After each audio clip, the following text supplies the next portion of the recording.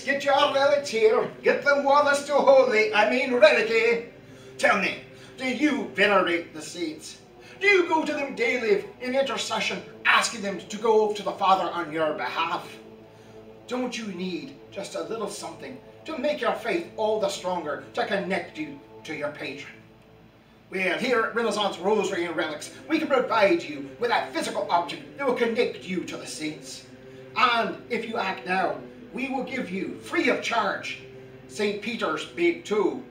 Have a piece of the man that walked with Christ.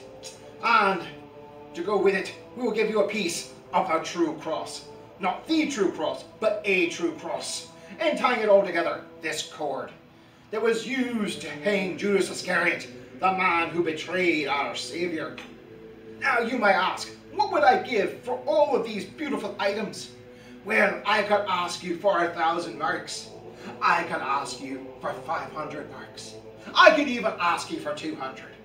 But no, I won't do that. Because your faith, your strength means more to me than my own life. So I'm only asking five marks. That's right, five marks. I could go lower, I knew.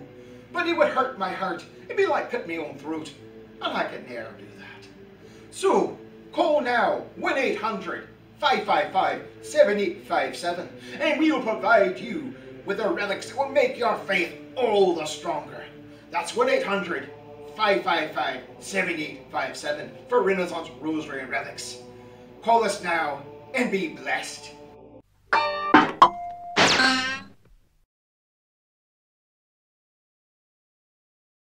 Hello, and thank you for watching. My name is John Givens. Now, the medieval relic seller was a con man, pure and simple. These were the type of men who'd offer to sell you oceanfront property in Arizona and cut you a great deal on the Brooklyn Bridge.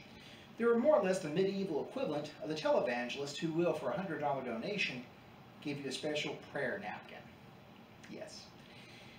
Now, you have to understand that in the Middle Ages, and quite possibly today, the idea of holding a relic, something connected to the saints, connected to the apostles, was a very special thing.